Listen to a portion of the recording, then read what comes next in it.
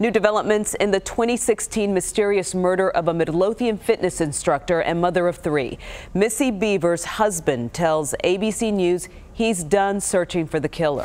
But police are still very much trying to solve this case. Charlotte Huffman joins us now with what she's been looking into for months now. Charlotte?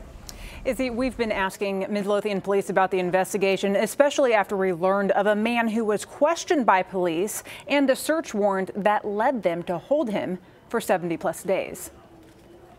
You've seen the chilling surveillance video. Someone dressed in police tactical gear carrying a hammer and roaming the halls of Creekside Church in Midlothian, where police found the body of the 45 year old mother of three. The video remains a key piece of evidence. I ask everybody out there to review the video. The person has a very distinct walk.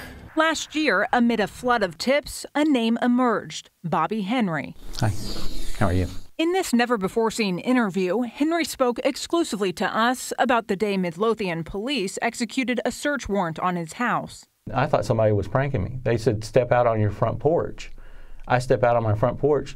There's eight police officers standing out there in full tactical gear with, with weapons drawn. And I'm like, I'm just, you know, stunned. Records show police honed in on Henry because he walked with a limp and had access to equipment similar to what the killer wore. I told them from the get go I didn't know this woman. Never heard the name Missy Bevers before I heard it on the news. He passed a polygraph, his alibi checked out, and months after sitting in jail and just days after our September interview, police cleared Henry's name and released him from jail.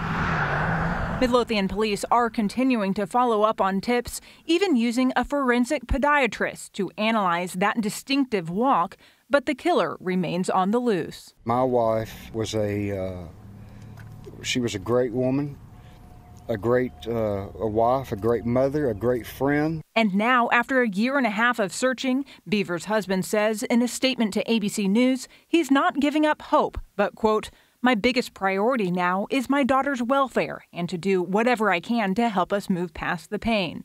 He goes on to say, My faith is in the Almighty and the investigators who are working to this day to provide justice and closure.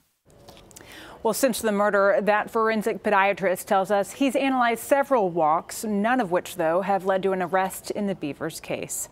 Charlotte Huffman, Channel 8 News. All right, Charlotte, thank you.